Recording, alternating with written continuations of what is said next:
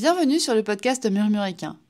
Moi, c'est Audrey, et je suis convaincue que pour avancer ensemble vers un monde meilleur pour nos amis les chevaux, la clé est d'apporter à chaque propriétaire de cheval une compréhension et une connaissance solide de son compagnon à crinière. Bien évidemment, il est impensable de laisser les humains sur le bord de la route du bien-être. Ta santé émotionnelle est donc également abordée dans ce podcast. Et tous ces sujets sont baignés de bienveillance et de bonne humeur, avec une touche d'humour. Tous les vendredis, tu retrouves donc une alternance d'épisodes enregistrés par moi sur des sujets variés autour des soins aux chevaux, ainsi que des interviews de propriétaires de chevaux inspirants pour t'aider sur ton chemin d'humaine de cheval exceptionnel. Je te souhaite une bonne écoute de cet épisode.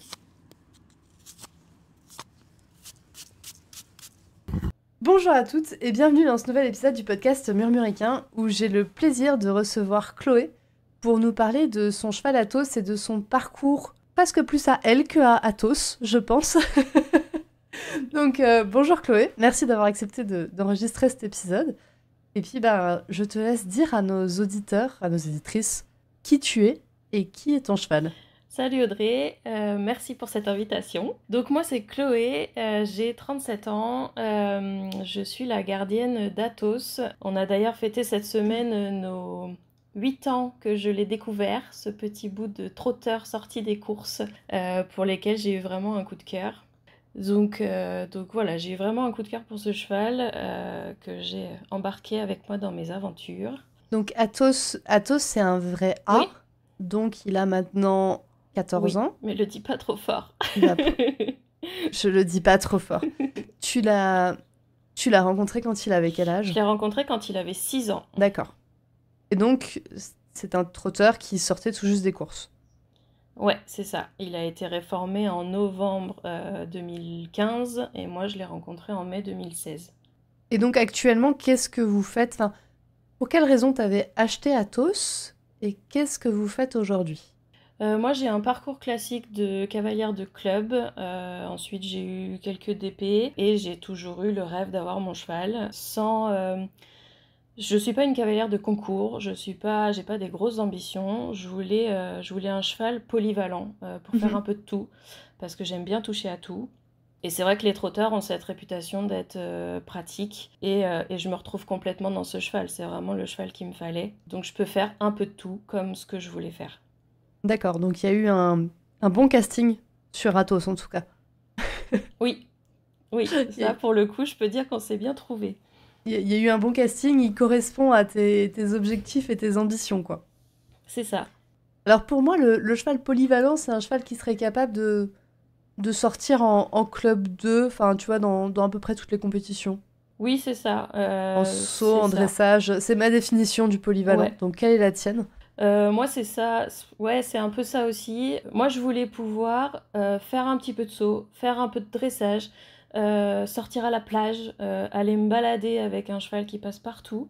Et c'est ce qu'on a fait. Mhm. C'est ce qu'on a fait. On a fait un peu de concours de saut d'obstacles, on a fait un peu de dressage, on a fait du hunter, euh, on a fait des pony games, on est allé à la plage. Et, et, il fait tonton avec les chevaux, avec les chevaux qui sont pas encore sortis dehors, par exemple. Bah voilà, il les rassure et, et du coup, je peux aller partout comportementalement, tu as vraiment fait, comme dit, un, très bon casting sur le choix de ton cheval. Ouais. Bon, du coup, pourquoi tu es sur ce podcast Non, mais je, sais pourquoi je t'ai invité, Chloé. je sais que même si tout allait très très bien comportementalement, tu as eu une évolution qui a été euh, assez forte. Justement, ce matin, tu partageais un avant-après de Athos. Ouais. Et flagrant de Athos. Donc, est-ce que tu peux nous dire. Euh, alors, je crois que sur la photo que tu partageais ce matin, c'était une photo d'il y a 3-4 ans? Euh, non, même pas. C'était euh, justement le premier jour où je l'ai vu. Ok. Le premier jour où je l'ai vu.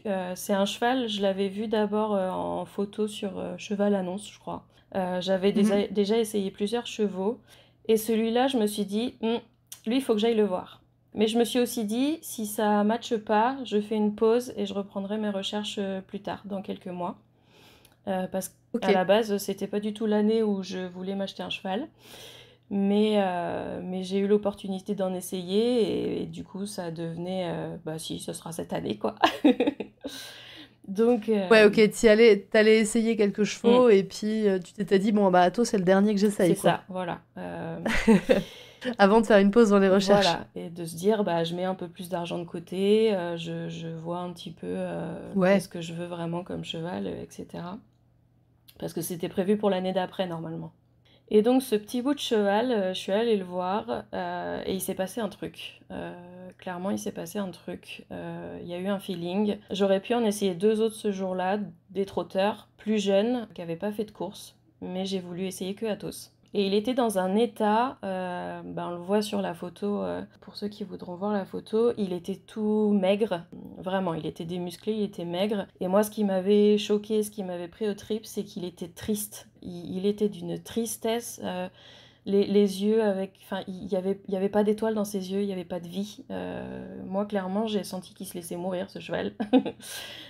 Ah ouais. Ouais, ouais. Euh, à tel point que mon, mon chéri, qui n'y connaissait rien en chevaux ou pas grand-chose, euh, il m'a demandé s'il n'était pas malade ou drogué. Ou... Enfin, voilà. Euh, c'est, vraiment ces mots de l'époque. Euh, et, en fait, c'est que, bah, en fait, sorti des courses, il a été balancé au pré par le, le- l'éleveur le, l'entraîneur, je ne sais pas trop, avec plusieurs autres chevaux. Et puis, il, balançait de la bouffe comme il pouvait et débrouille-toi. Pourra manger qui pourra manger, quoi. Et comme Athos, c'est pas un dominant, euh, bah, il mangeait en dernier. Donc, euh, donc voilà un peu le- le- l'histoire de notre rencontre. Et moi, à cette époque-là, j'avais mes connaissances de cavalière de club, j'avais fait de la Mhm. demi-pension, euh, j'avais failli acheter un, de mes un des chevaux que je montais en club, mais ça s'était pas fait. Et donc du coup, j'avais que ces connaissances-là. Euh, le seul truc où j'étais convaincue, euh, où je savais ce que je voulais, c'était son mode d'hébergement. Je savais que je le mettrais pas en box, je savais que je voulais un pré-box au moins.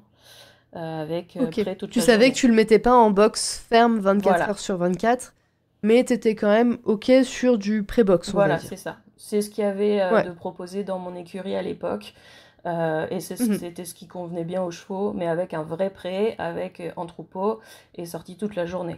Donc c'est là que tu l'as mis, euh, c'est là que tu l'as mis au début. Oui, c'est ça. Et qu'est-ce qui s'est passé ensuite? Comment t'en es arrivé? Parce que là actuellement il est pas en pré-box, Ouais.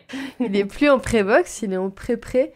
Est-ce qu'il y a eu quelque chose dans ta vie qui a été un, un facteur de te dire ok en fait je peux peut-être réussir à, faire mieux pour mon cheval Est-ce qu'il y a eu quelque chose qui, t'a marqué sur ce sujet-là?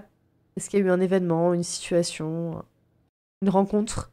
Euh, la situation, elle était un petit peu subie parce que à l'époque, la pension a arrêté le pré-box. Donc il est repassé en box paddock. Et moi, clairement, ça me convenait pas pour lui. Euh, c'était pas le mode de vie que je voulais pour lui. En fait, euh, il y, y a eu un moment où, comment dire, quand moi j'étais au boulot, au bureau, je me suis dit, mais je, je peux pas, euh, je me vois pas moi être au bureau 24 heures sur 24, donc je me vois pas euh, euh, imposer ça à mon cheval ou me demander est-ce qu'il sort, est-ce qu'il sort pas, euh, et rester, rester dans un paddock avec pas grand-chose, euh, bah non, c'est pas ça la vie que je veux pour lui.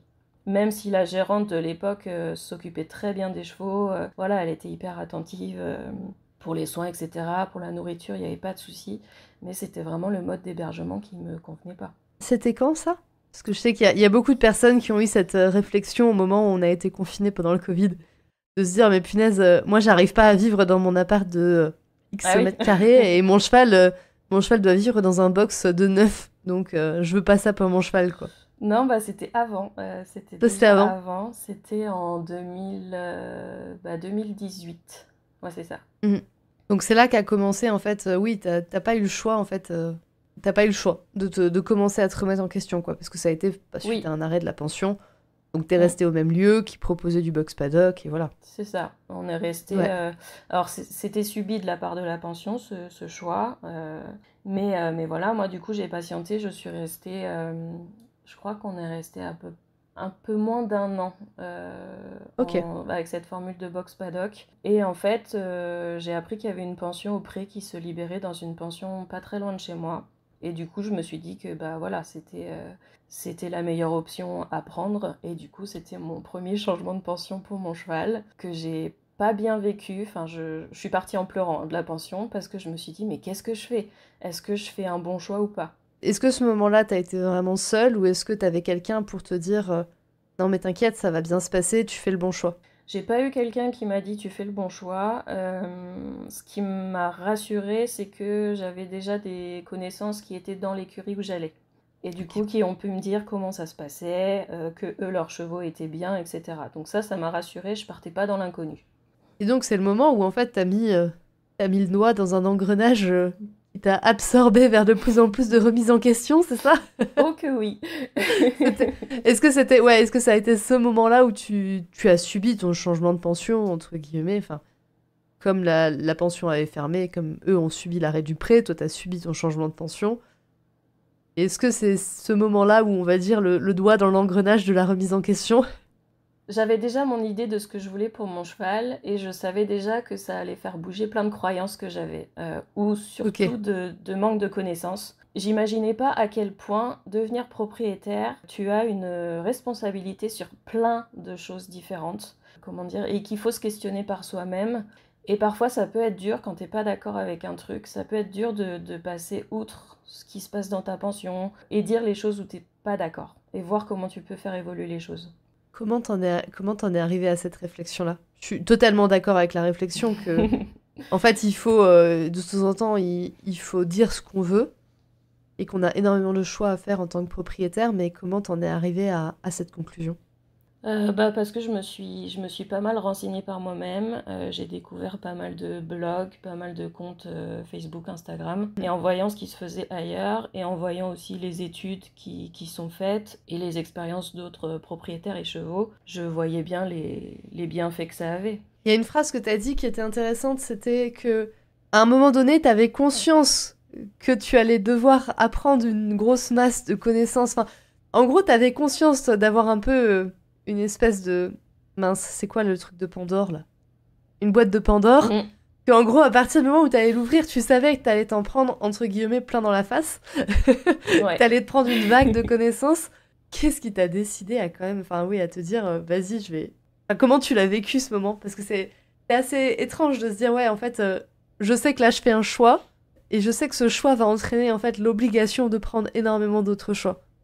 Bah, c'est de l'un découle l'autre, en fait. Si tu commences à te questionner sur le mode d'hébergement de ton cheval, par exemple, bah, l'étape d'après, c'est de se dire, bah, je vais me questionner sur son alimentation, par exemple. Euh, je vais me questionner sur, euh, sur son harnachement, sur euh, la selle, sur le filet, sur la façon de le travailler. Et de là, tu découles sur, sur plein, plein d'autres choses.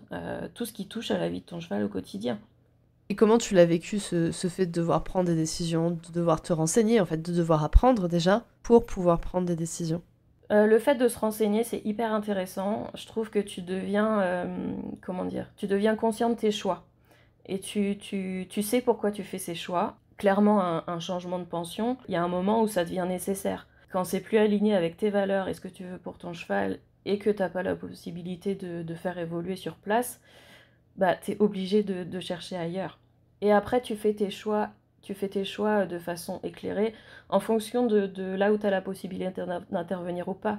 C'est sûr que c'est compliqué quand tu as une pension qui, qui t'oblige à prendre euh, tel ou tel euh, professionnel.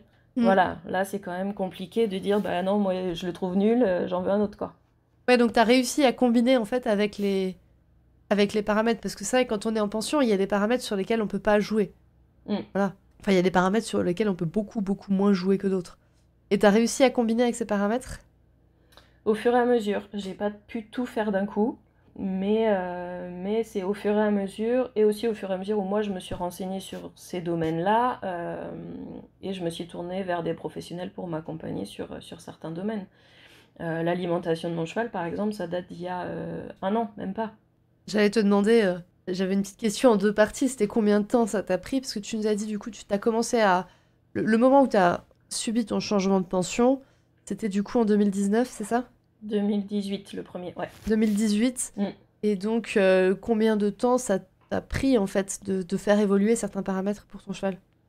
Tu nous as dit l'alimentation, c'était que d'il y a un an Ça s'est fait, ça s'est fait petit à petit parce que euh, j'ai eu pas mal de changements de pension, en fait, sur les dernières années, euh, majoritairement subis, où du coup, je me suis dit, Qu'est-ce que je peux accepter, qu'est-ce que je peux plus accepter, qu'est-ce qui est essentiel, qu'est-ce qui est moins essentiel. Et là, je suis arrivée dans ma pension actuelle il y a un an, un tout petit peu plus d'un an. Et du coup, il n'y a aucun professionnel euh, de quelle que soit l'activité qui n'est imposé euh, dans cette écurie. Donc on est vraiment euh, très très libre de, faire intervenir qui on veut. Et, et moi, c'est ce qui m'a donné l'opportunité de me dire, bah tiens, je vais contacter une nutritionniste pour faire faire une ration sur mesure. Ouais, donc du coup, ça t'a quand même pris de 2018 à 2023. Ouais. Donc si mes petits calculs mentaux sont bons, ça t'a quand même pris 5 ans mm. pour être sur un équilibre pour être sur un équilibre en fait avec ton cheval. Ça. Pour être sur un système qui là te convient bien, où ton cheval est bien. Comment tu choisis en fait les, professionnels qui t'accompagnent? Parce que tu disais qu'en fait il y a des pensions dans lesquelles tu n'avais pas le choix. Mmh. Donc en effet, on fait avec. Et maintenant que tu as le choix, je pense qu'il y en a peut-être eu où, tu avais certains choix. oui. et pas d'autres. Mais comment tu, comment tu choisis en fait justement les, les professionnels? Parce que ça c'est une grosse charge mentale pour les propriétaires. Mmh de choisir entre guillemets le bon professionnel pour son cheval. Euh, je fais beaucoup le je fais beaucoup le bouche à oreille euh, dans ma pension euh, enfin dans toutes les pensions que j'ai faites d'ailleurs je fais beaucoup le bouche à oreille les, les professionnels qu'on me conseille et je fais aussi avec les réseaux avec les réseaux sociaux c'est vrai que bah voilà on voit des on voit des posts passer on voit des des interventions des lives des fois et puis on se dit ah bah tiens elle elle est bien j'aimerais bien la contacter ça s'est toujours bien passé les fois où tu as contacté des professionnels, enfin que tu avais vu un professionnel sur un réseau social et que tu l'as contacté Ça s'est toujours bien passé? J'en ai pas eu beaucoup via les réseaux sociaux. Ok. Beaucoup plus par le bouche à oreille. Beaucoup plus par le bouche à oreille, ouais. Et il y a eu des fois où ça s'est mal passé via le bouche à oreille? En général, c'est que c'était pas du bouche à oreille. Enfin, l'exemple que je prends, c'est euh, là où j'étais avant, euh, euh, le veto qui passait pour les vermifuges. J'avais fait une copro avant, donc Athos avait pas mal de verres, encore que je crois que c'était pas non plus déconnant. Donc il a eu un vermifuge et le veto a dit bah faudra reprendre rendez-vous dans trois semaines, on fera un vermifuge par sonde. Et là je me suis mm. dit ah mais pourquoi? Mais, Enfin, qu'est-ce que c'est? Et, euh, et, au final, je n'ai pas rappelé trois semaines après parce que je ne voulais pas faire un vermifuge par sonde, sachant que ça a la même efficacité, c'est la même molécule, donc je ne voyais pas ce que ça allait faire de plus. Et j'ai refait une copro euh, par la suite et le vermifuge euh, par la bouche avait marché normalement. Donc, donc pour toi, en tout cas, avec ton expérience, en tout cas, la, la sélection des professionnels, soit par le bouche à oreille, soit par les réseaux sociaux, mais qui en fait ont, une même racine, c'est que des professionnels qui sont dans le cercle de personnes que tu côtoies, physiquement ou virtuellement. Donc en, tout cas pour toi, cette sélection s'est bien passée. Le fait d'avoir euh, justement euh, de, d'attraper, on va dire, les professionnels dans un pool, dans un pool de personnes qui est autour de toi. Donc toi, ça s'est bien passé. Oui. Et du coup, euh, Athos, il était ferré et maintenant il est pieds nus. Est-ce que ça s'est bien passé? Est-ce que tu peux nous raconter comment ça s'est passé? Ça s'est bien passé, euh, mais si je le referais, je le referais différemment. ok. En fait, j'en avais parlé à mon maréchal de l'époque, qui était très bien, euh, qui nous suivait depuis quelques années, euh, que je voulais le déférer, mais que je voulais être accompagnée. Il m'a dit oui, oui, il n'y a pas de souci. Il était ferré des quatre ou il était ferré des antérieurs? Que des antérieurs. D'accord. Donc tu depuis que tu l'as eu, depuis que tu l'as eu, il était, ferré des... il était déféré déjà des postérieurs. Tu n'as pas eu à gérer la transition des postérieurs. Non, non, non. C'était sous conseil du veto de ferrer de devant parce qu'il était euh, boiteux. Donc euh, voilà. Et c'est vrai qu'il supportait très bien les fers. Mais, euh, mais pareil, c'était une réflexion, moi, qui a pris le temps de cheminer, de savoir si je le faisais ou pas. et j'ai fini par me, par me lancer. Et en fait, mon mère... Avec ce besoin d'être accompagné, quoi. Ouais, ouais, ouais. Je voulais pas. T'avais, exprimé, avais mm. exprimé ce besoin que tu te sentais dépassé par la situation et que tu avais besoin d'aide. Euh. Et que et je voulais faire les choses bien. En fait, euh, voilà, j'avais un peu le cliché de quand tu défères ton cheval qui se retrouve sur trois pattes, euh, qui est raide boiteux, qui va avoir mal pendant un an, machin. Moi, je voulais pas ça. Je m'étais dit, si ça se fait comme ça, je préfère qu'il reste ferré et qu'il ait pas mal. Enfin, voilà, ça c'était ma réflexion. Euh, mon maréchal m'avait dit oui, oui, pas de souci, on vous accompagne. Euh, donc on a fait ça euh, le jour de mon anniversaire. Je dis joyeux, joyeux anniversaire pour, pour moi. et, et, là, le maréchal me dit bon, bah, on se revoit dans trois mois. Je me suis... Hein Oui. Il dit. C'est pas, c'est pas, ma notion d'accompagnement en tout cas. Non, bah moi non plus. moi non plus. Euh, donc j'étais un peu, euh, j'étais un peu embêtée parce que je me suis dit mais non, c'était pas ça que je voulais. Et entre-temps, euh, je suis allée visiter ma pension actuelle et ce jour-là, il y avait une super podologue dont on m'avait parlé qui était là. Donc je suis allée lui faire les yeux doux en disant bonjour, j'arrive dans un mois, est-ce que vous voulez bien euh, prendre un cheval de plus en suivi? Et elle a dit oui, donc, euh, donc du coup, du coup elle, nous suit, elle nous suit tous les mois, enfin toutes les six semaines à peu près, comme ce que j'aurais voulu à la base. Donc c'est intéressant parce qu'en fait, ce qui t'a fait changer de professionnel, c'est pas tant les capacités, euh, enfin les compétences du professionnel, mm. c'est sa manière de, de t'accompagner toi. Oui. Parce qu'on est d'accord, peut-être que en fait avec ton maréchal euh, tous les trois mois, peut-être que, genre, sur un malentendu, j'ai envie de dire, peut-être que ça aurait marché. Avec un peu de chance. en soi, ton cheval n'a pas été boiteux au déferrage. Non. C'est ça que je veux dire. Non. Ouais, donc c'est intéressant de dire qu'en fait, euh, ce qui a été important pour toi, c'était les compétences du professionnel, mais aussi euh, sa qualité de d'accompagnement avec toi. C'est ça. Mm. C'est très intéressant. Et du coup, ça s'est bien passé. Et du coup, ça s'est bien passé, ça s'est fait en douceur comme ce que je voulais. Euh, clairement, à chaque fois, elle, comment dire, elle pas les pieds euh, hyper courts pour les mettre vraiment dans un moule comme ce qui devrait être. Elle, laisse vraiment le temps aux pieds de se, de se remettre, en fait, et même aux aplombs, etc. donc moi, c'était vraiment ça que je voulais. Et ça se passe très très bien, à tel point que bah, l'été dernier, on a pu faire une balade de 3 heures euh, avec des chemins variés. Euh, il choisissait pas spécialement ses sols. Il se disait pas, oh oui, il y a des cailloux. Enfin, vraiment, il était déjà à l'aise, euh, alors que ça faisait. Euh, bah, c'était fin juillet, donc mars, juillet, enfin, ça faisait que quelques mois de déferrage. Oui, et comme dit, peut-être qu'en en fait, il l'aurait peut-être tout aussi bien supporté avec ton maréchal. Mm. Mais en tout cas, là, ça fait une transition qui a été fluide pour Athos et non stressante pour toi. ça. Parce que tu avais ce côté, je te prends par la main, on va s'occuper de lui toutes les six semaines, enfin, je te laisse pas toute seule. C'est ça. Très intéressant. Est-ce que du coup, aujourd'hui, tu estimes que tu as assez de connaissances et de compétences pour assurer le bien-être d'Athos, euh, quoi qu'il arrive, on va dire? Ou est-ce que tu continues justement de, te former? D'apprendre les choses, de te faire accompagner, etc. Oui, euh, je pars du principe que de toute façon, quand on a un animal quel qu'il soit, c'est un questionnement permanent et il euh, faut être à son écoute. Et de toute façon, il y a des choses qu'il ne m'avait jamais faites auparavant. Genre là, en mars, il m'a sorti un abcès, il m'a jamais, m'a jamais fait d'abcès. Donc j'ai appris à faire des pansements, je me suis renseignée sur les abcès. Donc euh, c'est une remise en question permanente et euh, il faut réussir à, s'informer sur tout ça pour pouvoir l'accompagner au mieux derrière. Oui, non, mais c'est sûr que heureusement, ils nous font pas tous les problèmes de santé tout le temps. Non. et j'avoue que moi, je n'ai jamais eu à faire. Je ne sais pas faire un pansement pour les abcès. Ah bah, je, te montrerai si tu veux. Je sais très bien faire maintenant. Ça se fait bien. c'est quelque chose que tu vois, mes, mes chevaux n'ont jamais eu, donc je n'ai jamais eu à apprendre à, faire un pansement pour les abcès. Donc honnêtement, j'ai pas les techniques.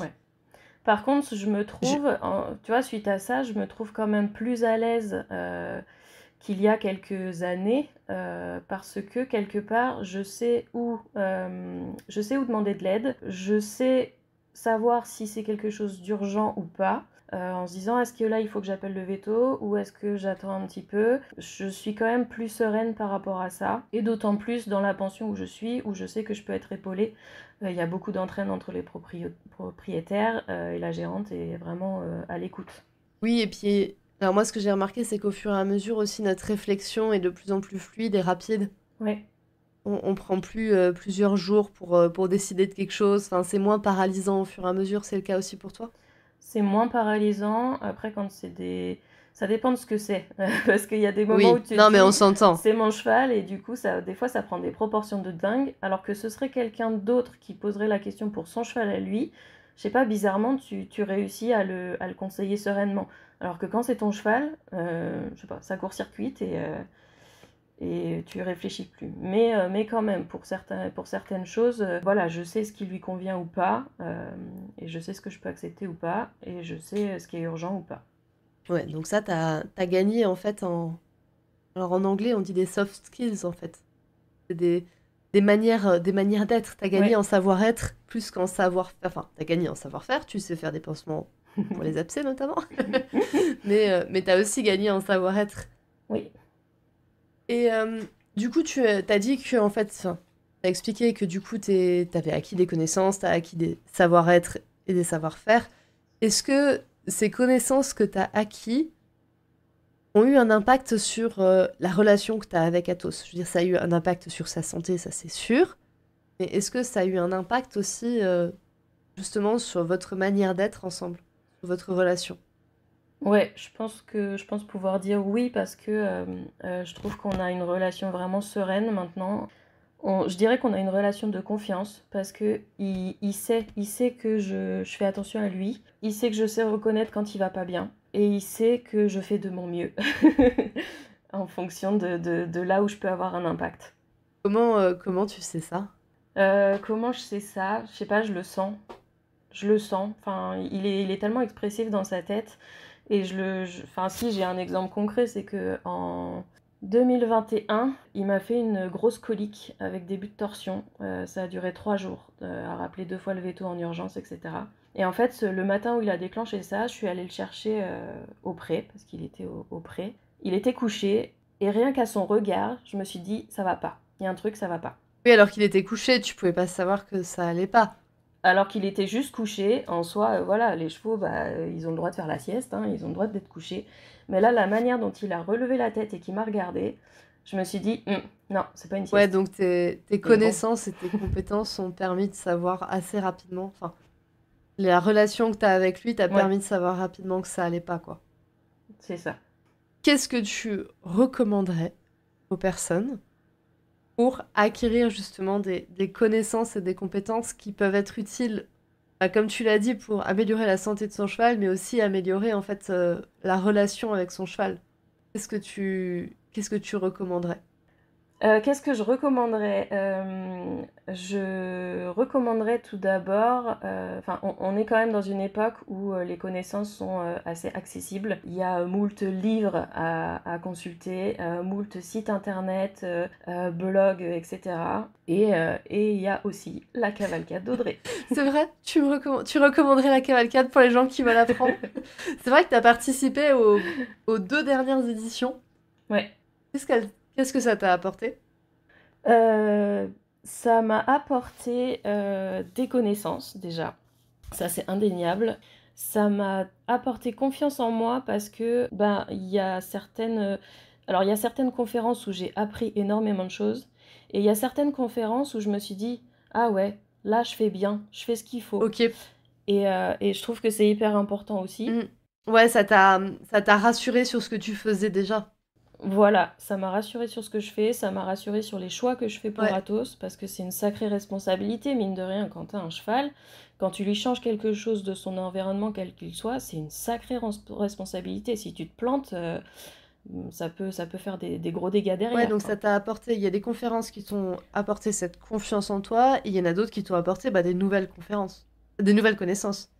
Oui, c'est ça, tout à fait. Euh, ça m'a aussi apporté euh, de me dire savoir dans quoi j'ai envie de, me former ou de creuser plus, d'avoir plus de connaissances, ou les domaines où je me dis euh, là non, euh, faut que je délègue, faut que je délègue. Et du coup, ça fait rencontrer des super, euh, des super intervenantes, des corps de métier que tu connais pas forcément, que tu connais pas forcément. Et c'est un condensé de savoir avec des parcours de vie. Des fois, enfin, je me, je me suis pris des grosses claques en me disant mais moi, en fait, j'ai de la chance d'avoir mon cheval comme ça où j'ai pas des j'ai pas des gros trucs, j'ai pas des alors c'est beaucoup de remise en question. Euh, je vais pas dire que ça ait toujours été euh, simple et limpide et linéaire, mais, euh, mais voilà, j'ai pas eu à faire face à des, à des gros gros trucs comme certaines peuvent avoir et qui pourtant se relèvent, se, remontent, se, retroussent les manches et puis allez, on y va. je l'accompagne, mon cheval, je l'ai acheté, je l'accompagne. Ouais. ouais, donc ça t'a apporté vraiment tout un horizon de choses. tout un horizon. Ah, c'est un, c'est un sacré bagage, ouais, ouais. Bah écoute, euh, j'en profite pour... Euh, j'en profite du coup pour rappeler que la cavalcade revient cette année. Oui tout, ce que, tout ce que je peux dire pour l'instant, c'est que le thème, ce sera de prendre soin de son cheval par le mouvement. Donc euh, c'est un thème qu'on n'a pas encore abordé. Ouais. Comment s'occuper de son cheval euh, par le mouvement, autant le travail à pied que le travail monté, que du classique, que du moins classique. Au moment où ton épisode de podcast sortira, je n'aurai pas encore annoncé les intervenantes, mais la liste d'attente est déjà disponible pour celles qui veulent être tenues au courant le plus rapidement possible des intervenantes. Ça, c'est trop chouette. Donc ouais, donc euh, je mettrai le, le lien en description. Et en effet, il y a moyen de rencontrer des, parce que moi, j'ai déjà la liste des intervenantes. Je suis méchante. Hein. Et moi, j'ai même moi, pas je l'ai déjà. Non. moi, j'en connais une déjà. Peut-être. Peut-être. Mais, euh, mais non, je, je le dis pas tout de suite. Et, euh, et je le dirai, en fait, euh, on annoncera la liste cet été. Mhm. Mais on, on l'annoncera en priorité à celles qui sont dans la liste d'attente. Donc, Inscrivez-vous. Si vous voulez le savoir. voilà, c'est ça. Inscrivez-vous pour l'avoir le plus vite possible. Ce que j'aime beaucoup, moi, dans, cette, euh, dans, cette, dans ce format-là, en tout cas, c'est la façon dont c'est fait. Euh, avec, euh, tu fais en sorte que tous les budgets puissent y avoir accès. Et j'aime bien la façon dont c'est fait, où avant d'avoir les interventions, j'aime beaucoup la table ronde des propriétaires. Je trouve que c'est hyper intéressant. Une de mes plus belles rencontres euh, du, du, du, moment de ces dernières années, euh, c'est Maureen de Sirius et Dolia. Hein. Ça a été vraiment une belle rencontre et c'est grâce à la cavalcade euh, que je l'ai rencontrée. Donc, Parce que Maureen avait fait la table ronde de l'édition 2022. C'est ça. C'est ça. On hésite à la refaire, la table ronde des propriétaires. On hésite à faire une table ronde des professionnels. Ah oui, mais ça peut, être, ça peut être super bien aussi. On hésite de faire une table ronde des professionnels plutôt que des propriétaires, c'est en hésitation. si les personnes ont, ont, des avis à me donner, je suis euh, totalement preneuse par NP sur Instagram. plutôt une table ronde des propriétaires ou des professionnels. Eh ben écoute, merci beaucoup Chloé pour, euh, pour ton histoire.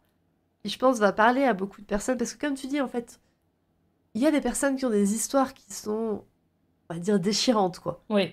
c'est vrai que j'en ai fait quelques-unes là, enfin, il y en a eu quelques-unes sur le podcast, des histoires qui sont déchirantes, on va dire. Mais en fait, il y a aussi énormément de, de chevaux, j'ai envie de dire normaux, mais qui en tout cas ont, pas des problèmes de santé qui sont, euh, qui sont énormes, qui ont des problèmes de santé qui sont, entre guillemets, classiques. Oui. Un cheval qui fait un abcès dans sa vie, c'est classique. Oui. Enfin, mm. voilà, c'est pas handicapant à terme. C'est ça. Donc, Mais c'est euh, aussi pour ça que c'est bien de se former avant qu'ils déclenchent des gros problèmes pour pouvoir être à même de les accompagner si jamais ils, en, ils, ils, en déclenchent. Ouais, on est d'accord. Donc en effet, je pense que ton histoire peut parler à des propriétaires de chevaux normaux. on va dire. C'est pas grave sans trop de, pathologie. C'est ça. C'est totalement bien. Tu sais, c'est comme à un moment donné, on, valorisait beaucoup les chevaux qui mettaient des coups de cul, qui mettaient des ruades, Qui, étaient très sur la défensive. Bah non, en fait, on les valorise plus vraiment, ces chevaux. Enfin, oui, bah, on, valorise les, chevaux qui sont calmes. derrière maintenant, mais euh, bon. C'est ça. mais je pense que ça, ça vaudrait le coup de le faire aussi pour les soins, de valoriser les chevaux qui ont juste des abcès, bah, entre guillemets. Mais même moi, quand j'ai commencé à chercher un cheval, enfin en club justement, j'étais un peu la tête brûlée à qui on donnait les chevaux difficiles. Mais quand j'ai voulu acheter le mien, je me suis dit, je veux pas ça tous les jours. un joueur facile, donc c'est bien aussi. Voilà. Bah écoute, merci beaucoup pour cet enregistrement. On peut te retrouver sur euh, Instagram, c'est Chloé Madame Chouchou. Oui, Chloé Madame Chouchou. Ok, je mettrai le lien en description de ton épisode. Je suis en privé, mais n'hésitez pas à venir euh, échanger. Euh, il n'y a pas de souci. Super. Bah, merci de le dire. Et eh ben merci à toi. Et puis bah du coup, bonne journée. À toi aussi. à, très vite. À très vite pour euh, dans le podcast et pour la cavalcade. C'est la fin de cet épisode de podcast. S'il t'a plu, tu peux le partager à une personne de ton entourage qui pourrait également l'apprécier. Tu peux également venir me dire ce que tu en as pensé sur le compte Instagram murmure.animal. Je te remercie encore une fois de ton écoute et je te retrouve la semaine prochaine pour un nouvel épisode pour toujours plus de connaissances pour ton cheval et pour toi.